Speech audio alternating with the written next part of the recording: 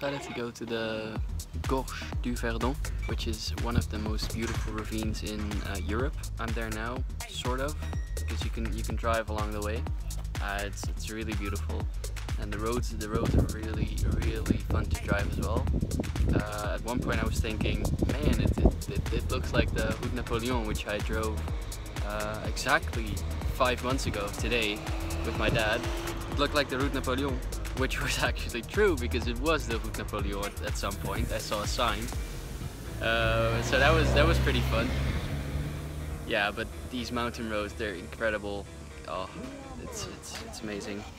Um, I'm now at a restaurant overlooking uh, mountains, man. Yeah. So I'm, I'm gonna have a pizza and then go to a lake.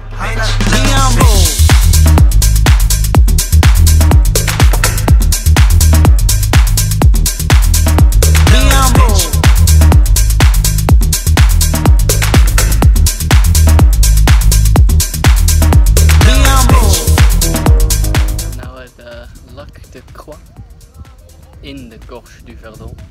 This view is just amazing. Uh, the water is as blue as it can get. There are people uh, boating here, uh, canoes and paddle paddle boats. I'm not gonna do that because I'm alone and that would be sad.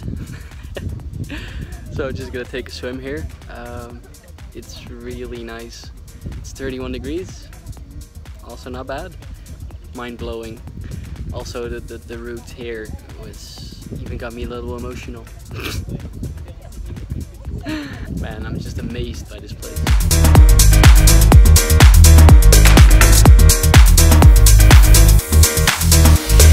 Hey, this that Grey Poupon, that AV on the TED Talk. Hey, this that Grey Poupon, that Evian the TED Talk. Hey,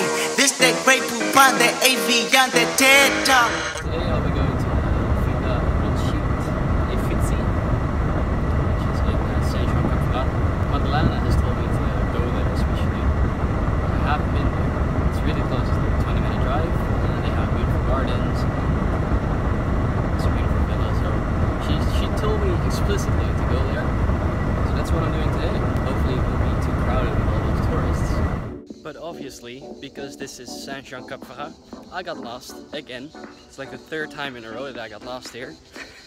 I found the villa, it was easy to find, but then finding a parking place is the problem. So now I'm basically at the lowest point of the peninsula, um, trying to find a place to turn the car to go back up towards the villa and then I drove past the hotel where Daba works. And uh, last time I talked to her she invited me to have a have a cup of coffee or whatever sometimes at her uh, at her hotel while she's working. And I drove by her car as well. So now I'm gonna have a very expensive coffee I think after I'll uh, go to the to the villa anyway because now I'm here I just really want to see it but first good cup of coffee.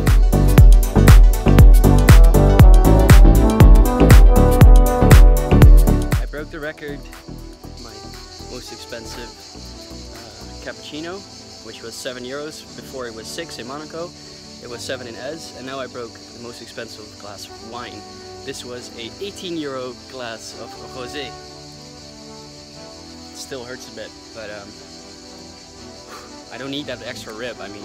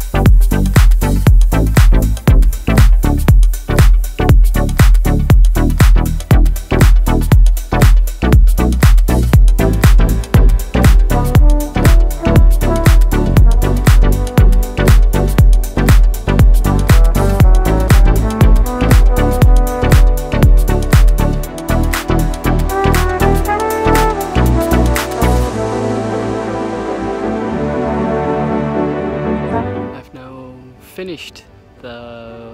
Ephrussi de Rothschild Gardens. Finished the villa before and it's it's big. It's really big. And the amount of porcelain this woman had, uh, Jesus. If I'm if I'm right, this villa was created uh, or designed by Lady Ephrussi Rothschild.